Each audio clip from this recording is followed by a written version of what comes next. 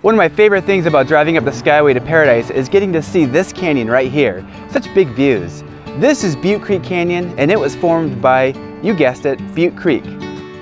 Hi, I'm Jason Mandly and on this edition of Butte County Adventures, we're taking you upstream from here to the Forks of Butte Creek Recreation Area. Let's go!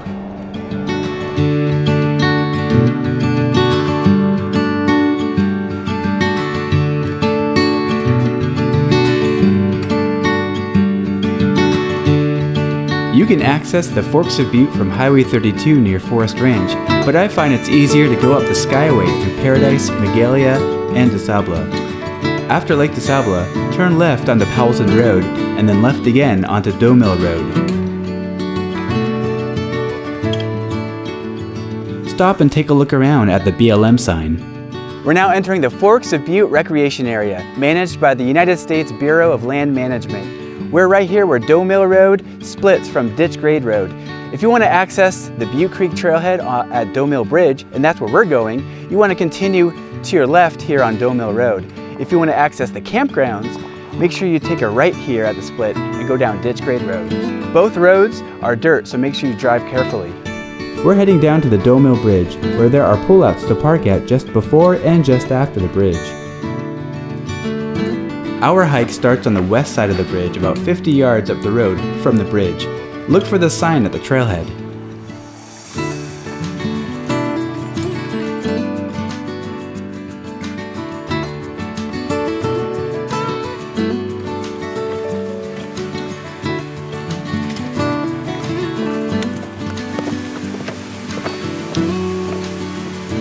So for the first part of this adventure, we started at the Doe Mill Bridge and we're heading south along Butte Creek, along the Butte Creek Trail. The trail is about a mile or so long. It's not too long, and the first half of it is pretty flat.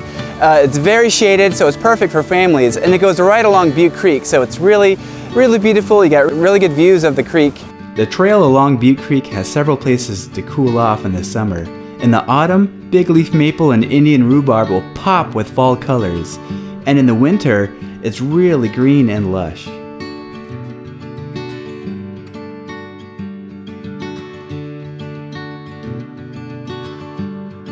Well, on the second half of this hike, it's getting a little sunnier, a little rockier, a little hillier, but it's worth it. The views are opening wide open here in Upper Butte Creek Canyon. You can see cascades coming down the creek. It's really beautiful. So I've reached the point where you get to this set of stairs and it's a good turnaround point for the casual hiker because past those stairs, the trail does get a little steeper, rockier, and it starts to deteriorate. But this right here is a great lookout point, a great place to have a snack, and then turn around and go back to the car. So let's go!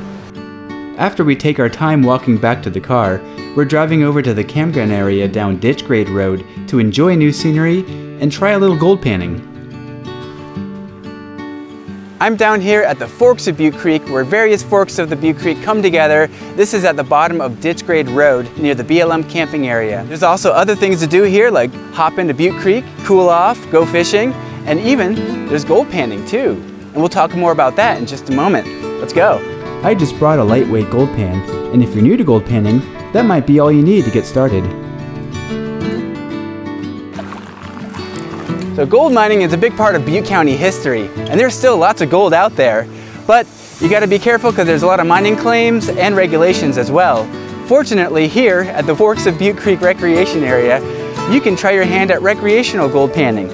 To give it a try, file a permit with the Redding Field Office, and that permit is about $5 per day, and it can reserve you up to 100 yards of Butte Creek.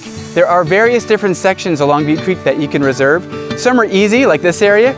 Others are a little bit steeper and harder to access, but perhaps there's better gold there. Who knows? If you want to give gold panning a try, go to Explore Butte County's page on Forks of Butte Recreational Area and you can find a link to the Bureau of Land Management permit. Go ahead, print it out, fill it out, turn it in about five days before your adventure, and good luck. And I didn't find any gold this time, but maybe next time, unless you find it first.